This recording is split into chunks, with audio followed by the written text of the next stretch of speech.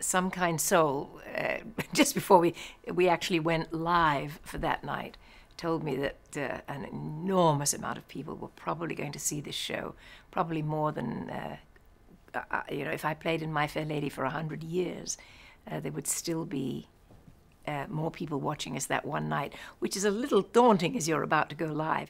We did one performance, we rehearsed it, of course, and then we did one dress rehearsal, and then the performance was live, and that is terrifying. The build up to it was very, very, very, uh, very important. Nervous making for me because my God, it was going to be live in front of so many millions and millions of people, you know, and I had so little experience. So I pretended to be cool, but I wasn't some of the people might not understand that a lot of things do go wrong. And I, I just thought it was going to be the greatest train wreck in the history of show business.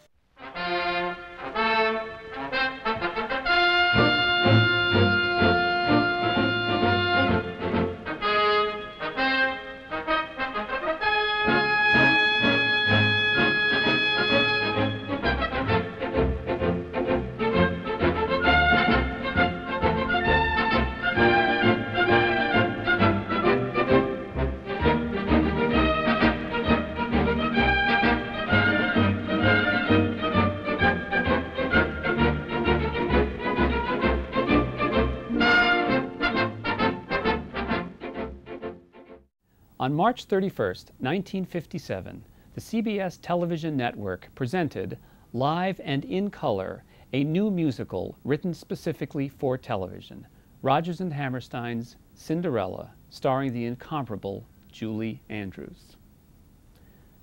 Hi, I'm Ted Chapin, president of the Rodgers and Hammerstein organization, and we're going to take a look back into the creation of this original production. Rodgers and Hammerstein were the kings of Broadway, and when it was decided to do this television production of Cinderella, it seemed to make sense to do it in New York, where all the talent of Broadway could be pulled into the production. Keep in mind that this was pretty early television, and the actors needed for most all of television came from the theater anyway. And while most of the cast were pretty experienced people, one character in particular, that of the prince, ended up going to an unknown actor, someone who became known years later as Chief of Police Fletcher Daniels in Hill Street Blues. And then I went to Richard Rodgers' apartment to sing for Richard Rodgers uh, on Park Avenue in his magnificent apartment and scared out of my gourd. That's how I got the job. Richard Rodgers gave me the job. I was in his um, in his music room, this vast room that was absolutely empty because he was having it redecorated or painted or something. I forget and uh, the only thing in the uh, room was a big, tall, big, tall ladder, A-frame ladder, and his piano.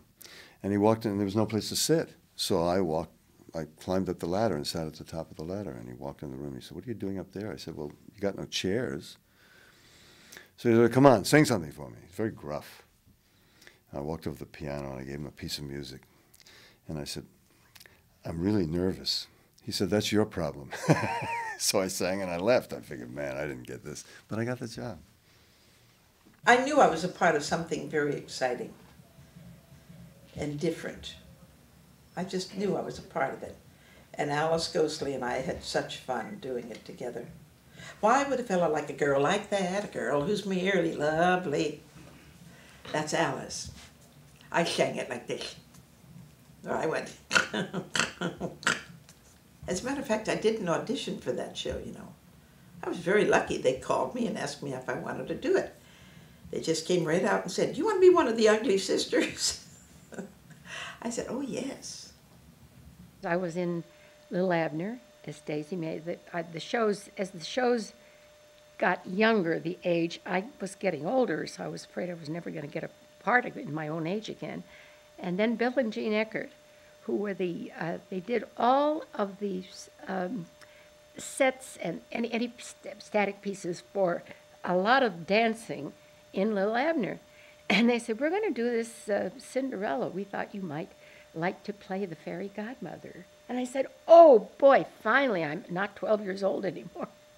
Rounding out the cast was Ilka Chase as the wicked stepmother. And for the king and the queen, a pair of Broadway royalty, husband and wife, Howard Lindsay and Dorothy Stickney. You know something? What? I love you both. I love them all. I really love them. And, you know, I mean, these people were legends, like Howard Lindsay, his wife Dorothy Stickney.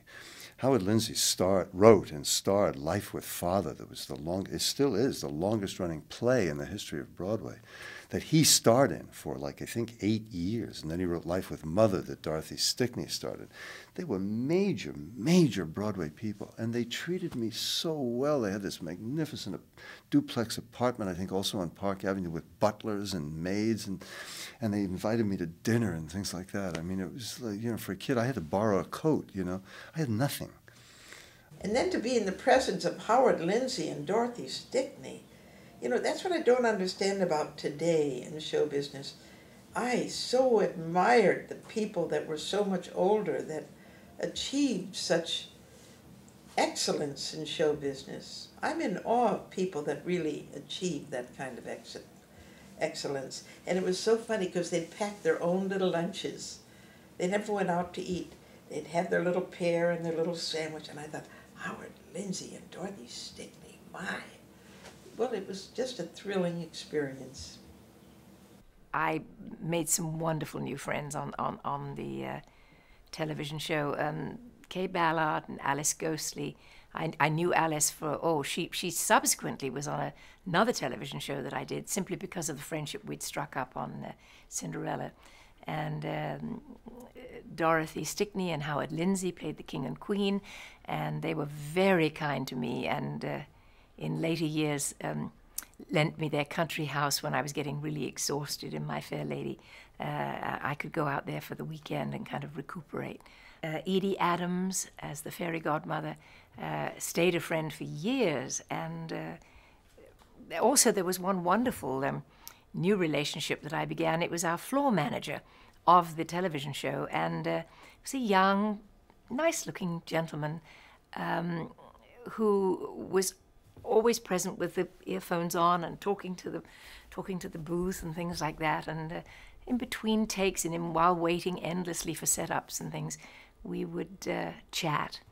And uh, he told me that he was planning after this particular production to really launch a new uh, public theater in the park and uh, this gentleman's name was Joe Papp Joseph Papp and uh, I will never forget my thinking, a public theatre, free theatre in, in, in Central Park. I wonder if he'll ever pull that off. oh gosh, uh, that gentleman became so huge and so famous, and what a wonderful, what a wonderful thing he did for everybody. For composer Richard Rodgers and lyricist librettist Oscar Hammerstein II, the night of Cinderella's airing marked the 14th anniversary of the opening of their first collaboration, Oklahoma. In their many shows together, they were seldom apart, except in the writing of, of all things, Cinderella. A series of interesting letters exists with Oscar Hammerstein in Melbourne, Australia, attending the 1956 Olympics, and Richard Rodgers at his office on Madison Avenue. It gives us the only glimpse into the collaborative process of these two giants. What's interesting about the letters is Oscar Hammerstein is asking the composer whether it's musically literate to go from a major key to a minor key. And Richard Rodgers, the composer, is asking the lyricist if it's literate to have split infinitives in the lyrics. In the last of these letters, characteristically, Richard Rodgers says, Oscar, why don't you just come home? We will sit down together and iron out any concerns that either one of us may have or may ever have.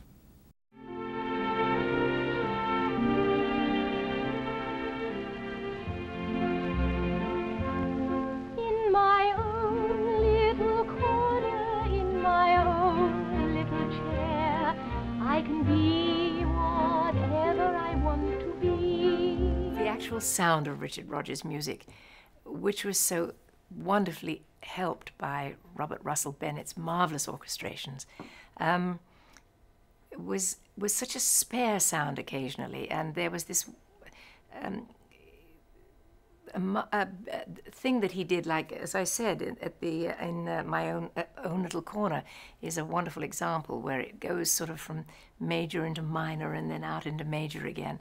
Um, uh, I think that nobody, except perhaps Strauss and later Henry Mancini, wrote as many great waltzes as Richard Rodgers wrote. They were glorious, and to sing them is an absolute joy. But the real thrill was that first day of rehearsal when Richard Rodgers gathered us all and he played the score and Oscar Hammerstein, well, he couldn't really sing but recited to the music. And I tell you, I thought I was in heaven. But when he sang, Do I love you because you're beautiful? Or are you beautiful because I love you? I tell you, the tears streamed down my face. I thought, my God, what a genius. The simplicity of his lyrics. Oh, they were, well, what can I say? I, I was just in awe around Richard Rodgers and Oscar Hammerstein at all times. To the best of my recollection, um, I don't think they were in the studio a lot. Um, I worked with Mr. Rodgers. Uh, I first heard the music with Mr. Rodgers. Um, saw less of Oscar Hammerstein, but there was one wonderful day when I was waiting to make an entrance in this in a behind a, a flat in the studio. I was just waiting to go on, and for some reason, and I have no idea why, I was humming a song, uh, which is called "The Last Time I Saw Paris," and um, I either was humming it or whistling it or something, and a voice behind me said, You know, I meant every word of that lyric when I wrote it. And I turned around and it was Oscar Hammerstein. And I said, oh, Mr. Hammerstein, I'm terribly sorry. I had no idea that you had written that beautiful song. And he said, Yes, when I went back after the war, the city struck me uh, in, in the center of my heart, and I felt I had to write that lyric. And it was just sharing that quiet moment in the wings of Cinderella. Uh, it was quite magical for a moment for me, and uh, that song's always had a special meaning for me ever since. Uh, it is a beautiful song. I really, at that time, never knew that he had written it. I do remember that Ralph Nelson was directing, and he had um, Richard Rodgers in the control room because Richard Rodgers was very fussy about his music. He was just really fussy, and it had to be right. And on the last run through, I'll never forget it, he said, Here, Mr. Rodgers, you have a whistle, and if you see something that you don't like, you just blow that whistle. And he said, Okay, so they're getting down. I forgot if it went on at 8 o'clock, it was like quarter to 8. And everybody is there. The orchestra was in another room, luckily, but the dancers, the kids, the choirs, everybody was there. And all of a sudden, we're all on stage. People are hiding the dressers behind faces. People are dancing, everything. And uh, Mr. Rodgers blows his whistle. He goes, Whoosh. and of course, everything stopped. Totally stopped. The whole machines, the chorus, the uh, orchestra, the whole, everything came to a grinding halt. Yes, Mr. Rodgers, what is it? That boy in the second row in the back, you're singing an E flat instead of an E natural. The art of making a television studio out of a legitimate theater was removing the seats from the orchestra level and covering it over with a concrete platform that matched the level of the stage, making as large a space as possible. For theater people, this may have looked like a great deal of space, but for a live television musical with 56 cast members, 33 orchestra members, and 80 in the crew, in addition to a story that takes place in many different locations, made the production of Cinderella seem not unlike a Marx Brothers movie. I mean, there was it was like this, this kind of room, and they're and they're doing sweeping things. And if anybody had pushed hard, you know, the flat would have been over, and there'd have been twelve wardrobe people there waiting with clothes. It was just, it was just the most incredible thing. And they were mostly theater people who were used to much discipline and counting on everything working. And I thought, given the things that could go wrong, nothing went wrong. It was absolutely amazing. There were a lot of things like tearing around, hoping that you were getting the right angle. Uh, you know, on in the theater, you you've had tons and tons and tons of time to work it out. You've been out of town. Uh, in this one particular performance for, for uh, television for one night only, it was a bit of a scuffle, which would be putting it mildly. And when they finally showed me where we were going to do this, I think it was called, I don't remember the name of the theater, but it was a legit theater. And not a big musical theater, it was just a theater theater. And they had re- fixed it over so that the CBS Symphony could could play in it, and it was really a are you ready hi-fi hot stuff studio.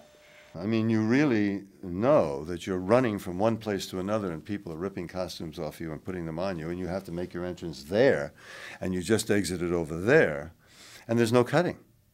So you have to be there. So there, that's why there's so many wonderful shows about live television, about things, things going wrong uh, on camera, because there's no help for it, you know? So it's very, very different. It's a very, very different feeling, too uh, to know that people are watching live. In this studio, they had not just the cast of characters, but there was a chorus in there. There was a corps de ballet in there. And when they, wherever they were doing the marches, they had to march up the stairs and down the stairs because they only had 10 feet. And when they were doing these big sweeping waltzes, it, was, it wasn't any more than 15 feet. And if you had even touched anything. There was somebody hiding behind it. They couldn't, nothing could fall over. No matter what you thought, each time the pressure was tremendous because it was only that time and you couldn't go back and say, oh, I missed a lyric. Oh, I missed a word. Mm-mm, you had to do it. That was it. We were doing um, quick changes as we were saying dialogue. Our, our, our director hoped very much to, to make the this particular Cinderella as real as possible. And so uh, the the magical uh, transition from from uh, rags to riches was was literally done on camera as the uh, show was going on. So in the studio, you know, uh, the camera would pan down to my feet, and you'd see that uh, I had the magic shoes on. And then, as the camera is panning up, my, somebody's trying to put a crown on my head, and, and gradually, as it gets to me, you hope that it's not going to be tilted or anything like that. This was live television, which meant no second takes, no second chances, and anything could happen. Do I want you because you're wonderful? Or are you wonderful because I want you? I goofed big time. Yeah, I goofed big time. Oh, and it really hurt me. It hurt. It hurt my heart because I love Dorothy Stickney. She's like my mother, you know. And uh, and I overrode her in the reprise of uh, "Do I Love You Because You're Beautiful." And um, I, in the show, you see they cut to her. In the control room, they cut to her, and she takes a deep breath to sing, and I sang right over her, and I knew it immediately. And I, oh God. It really hurt. I cried afterward in my dressing room. And she came in and said, No, darling, we all make mistakes, no problem. Cinderella was a very big deal for CBS, partly because they wanted to do better than NBC that had had enormous success showing Mary Martin in Peter Pan not once, but twice in the years preceding Cinderella.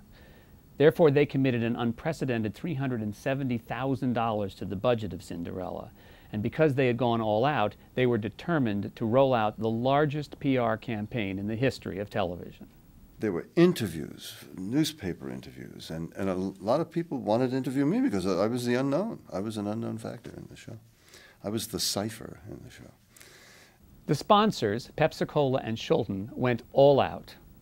Pepsi Cola even printed 5 million comic books of Cinderella, which they inserted in six packs of Pepsi prior to the airing and Columbia Records invited the entire cast down to their 30th Street studio, where, under the direction of Goddard Lieberson, they made an album that was for sale at your local record store first thing Monday morning following the telecast. And in perhaps the greatest PR coup of all, Ed Sullivan invited Richard Rodgers and Oscar Hammerstein onto his program the Sunday prior to Cinderella, both to give America a little preview of what was in store, but also to urge them all to tune in next Sunday to see Cinderella. It all led up to the evening of March 31st, 1957. Regular programming was preempted, Cinderella Live went out over the wires, and everybody wondered had all the PR worked? Was anybody watching? We walked outside. I walked outside the theater Sunday night, um, March 31st, 1957. And uh, the streets were absolutely, it was raining, the streets were absolutely deserted. Absolutely deserted. There were no cars, there were no people. It was almost as though they had dropped a neutron bomb and the buildings had been preserved, but all the people had died. It was a very, very peculiar feeling. Everybody was inside watching the show. It was the largest audience in the history of television at that time, and still would be considered a huge audience for a television show. I think it was like 130 million people. And the population of the United States then was only like 185 million people. Maybe 200, maybe 200 million people. Huge. Major portion of the, of the world, the, the world was watching. Cinderella made television history. According to Trendex, the Nielsen ratings of its day, an astonishing 120 million people in North America tuned in, averaging an amazing 4.43 people per television set. And since it was written by Broadway theater people, it's not surprising to know that Rodgers and Hammerstein's Cinderella has since had a healthy life on stages across the country and around the world. It's also been remade twice for television, Rodgers and Hammerstein's Cinderella proved to be a milestone in television history, and it also proved to be a milestone in the lives of the people who brought it to life. And the greatest compliment I ever received in show business was from Mr. Hammerstein, who came up to me and said, Kaye, you're becoming a consummate artist. That has etched in my mind from the master. One day, my, my daughter was oh, how old was she then? It was very, very young. Just went down to sleep. I said, oh, Julie, do me a favor. Just walk in. She adores you. She was happy. I said, honey, honey, wake up. And she goes, oh, Jude, Judy Bob. Oh, oh, it was just, she just loved, loved uh, Julie. She was so, and so she was so sweet and accommodating to do that. I saw Julie Andrews in a restaurant about maybe four or five months ago. And I wouldn't have said anything to her. I was having dinner with Betty White and some friends of mine, a couple of agents, and so on. uh, and um, she walked out with her husband. She left while I was still eating. Uh, a friend of mine from way back then said, There's Julie, there's Julie, go talk to her. I said, No, no, no I don't want to bother. And I'd never seen her since. And my wife, very aggressive, my wife went running out. They were waiting for their car to be brought around. My wife went running out and said, Your Prince Charming is inside. She said, No, is Jon inside? So she came running in. We embraced, and it was such an emotional moment. As to the reaction afterwards, I think I was aware that it was successful, that we did draw a huge audience. But right after Cinderella was over, I went back into My Fair Lady. Uh, I had only taken a small um, leave of absence in order to do the program. And back into the theater I went, and uh, it was kind of business as usual and going back to my day job. So the real impact uh, didn't hit me. I think that one was just so busy doing in those days and getting on with one's life and one's career. And it was sort of um, head down, nose to the grindstone, and getting on with one's job. And it's only now that I look back that I think, wow, wasn't that extraordinary?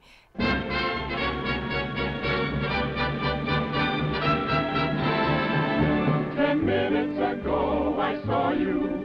I looked up when you came through the door. My head started reeling, you